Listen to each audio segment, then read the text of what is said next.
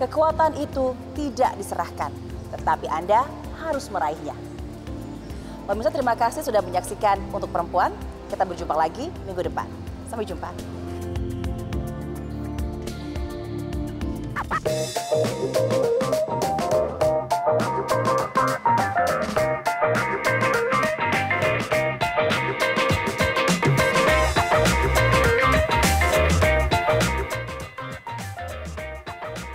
Setiap negara pasti memiliki souvenir khasnya masing-masing. Pada umumnya, souvenir ini dibuat adalah ciri khas negara tersebut, mulai dari lambang, landmark, hingga kerajinan tangan khas negara tersebut. Kalau kita kebanyakan yang bikin uh, dia itu khas Peru itu lebih di motifnya, di gambarnya. Seperti kita ciri khasnya kan Machu Picchu, lalu Yama, lalu ada hewan-hewan original lainnya. Terus warna-warna. Di mana kalau di Peru itu kita itu warna-warnanya cenderung cerah, merah, hijau seperti itu. Kan bendera Peru juga kan warna putih dan merah juga, gitu yang cerah-cerah. Lewat sini kalau Peru itu banyak sih banyak teman-teman yang apa uh, nggak saya pernah baca karena saya kan punya sekolah high school. Jadi negara-negara mana yang biasanya kan ambil negara besar. Kalau maksudnya negara kecil juga semua punya unik sendiri-sendiri ya gitu.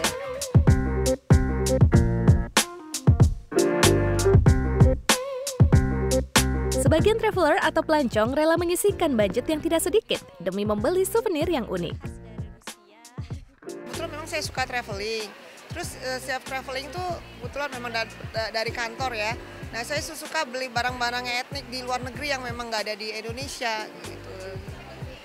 Eh, saya bikin koleksi apa ya punya ke uh, saya punya memang hobi koleksi. Gitu. Misalnya saya cari tiap negara itu khasnya apa, itu pasti nanti saya cari saya beli.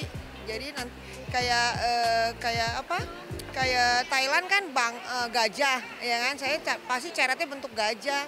Nanti ke negara New Zealand kan uh, domba.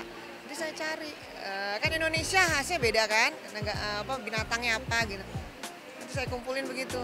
Uh, karena uh, keberagaman gitu ya negara-negara di apa di dunia. Seperti itu kan unik gitu ya. Jadi kita nggak nggak cuman apa uh, Indonesia aja tapi kita juga bisa mengenal budaya negara lain Selain bisa jadi kenangan, tentu saja Anda bisa bercerita tentang keunikan suatu tujuan wisata melalui souvenir yang merupakan ikon tempat wisata tersebut.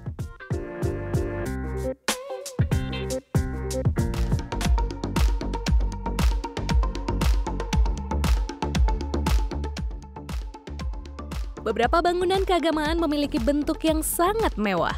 Bangunan-bangunan ini adalah bagian dari sejarah dan sebagian besar berdiri selama berabad-abad. Berikut bangunan suci paling mahal yang pernah dibangun dilansir dari The Richest. Masjid Al-Haram bukan hanya bangunan keagamaan termahal, tetapi juga bangunan paling mahal di dunia. Terletak di Mekah, Arab Saudi, harganya mencapai 1.400 triliun rupiah.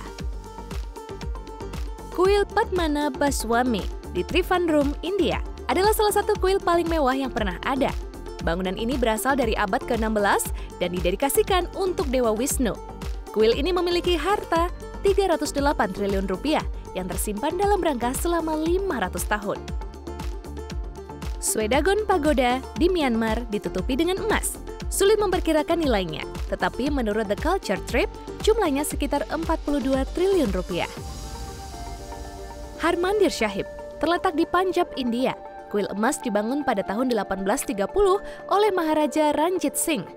Kuil ini memiliki lebih dari 30 lapisan emas 24 karat.